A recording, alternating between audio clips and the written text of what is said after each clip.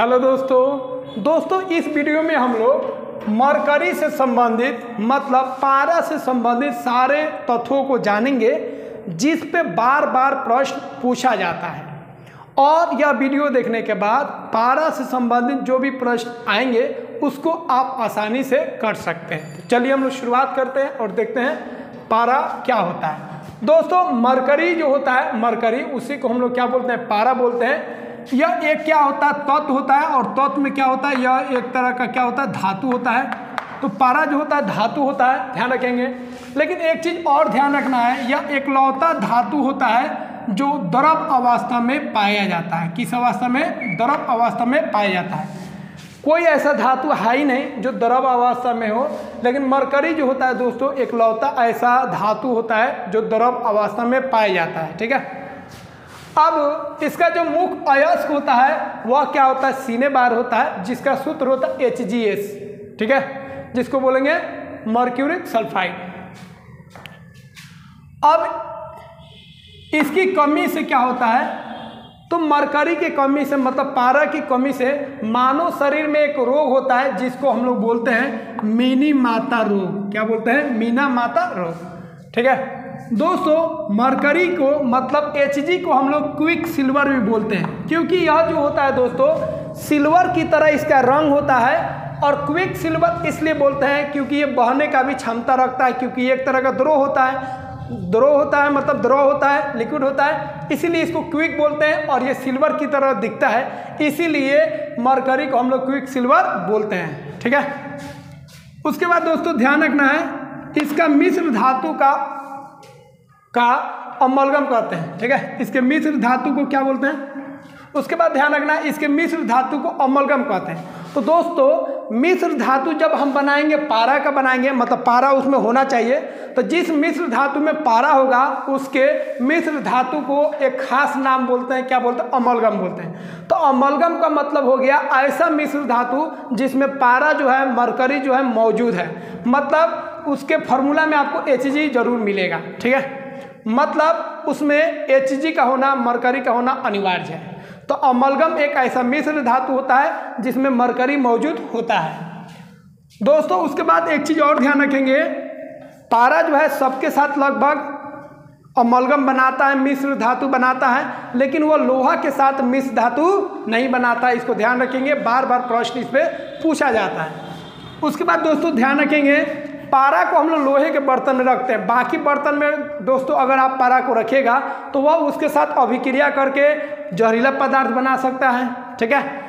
इसीलिए हम लोग पारा को क्या करते हैं? लोहा में रखते हैं, क्योंकि लोहा के साथ वो कोई भी अमलगम मिर्च धातु नहीं बनाता है। उसके साथ अभिक्रिया करेगा नहीं।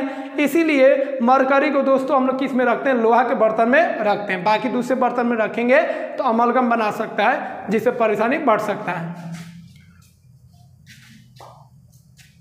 दोस्तों उसके बाद याद रखेंगे तापमापी यंत्रों में।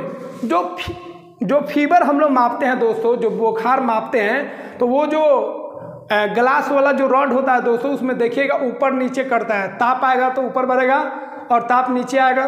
ताप बढ़ेगा तो वो ऊपर जाएगा और ताप नीचे आएगा तो वो नीचे आएगा।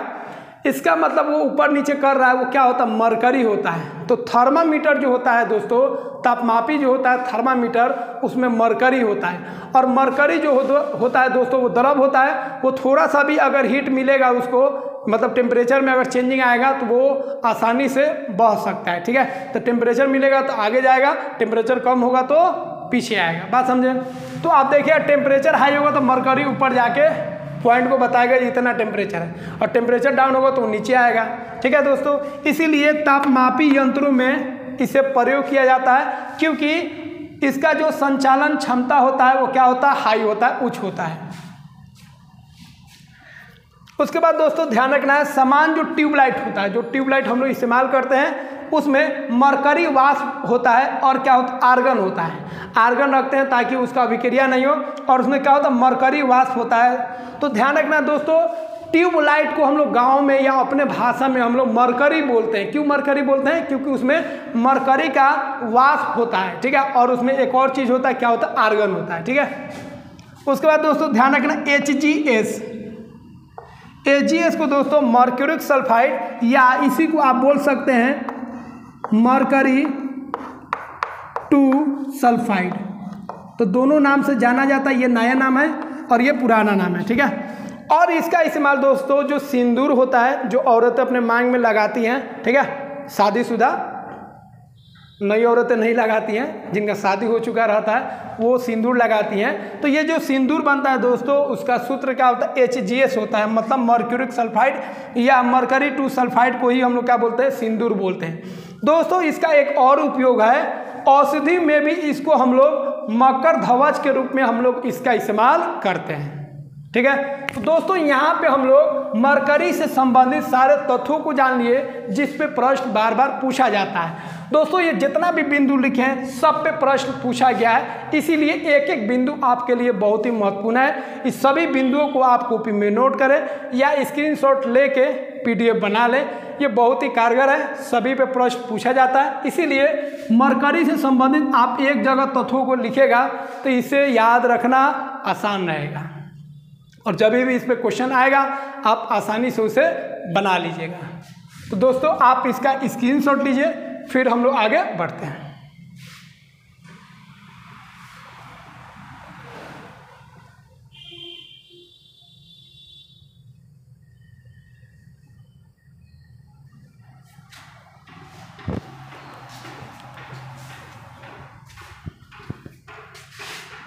दोस्तों, वीडियो अच्छा लगा हो तो लाइक करें और चैनल पर नए हैं तो इसे सब्सक्राइब करें।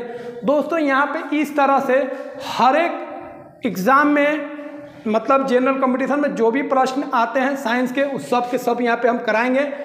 पारा से संबंधित हो गोल्ड से संबंधित हो, चांदी से संबंधित हो सोडियम से संबंधित हो, जितने प्रश्न बनेंगे सारे प्रश्नों को हम कराएँगे बहुत ही कम समय में और बहुत ही कम समय में आप अधिक से अधिक चीज़ों को सीख सकते हैं। दोस्तों, इस चैनल को सब्सक्राइब कीजिए और डिस्क्रिप्शन में प्लेलिस्ट दिया गया है, वहाँ से आप जाके और भी वीडियोज़ को देखकर आप लाभ हासिल कर सकते हैं। तो मिलते हैं दोस्तों अगले वीडियो में। जय हिंद।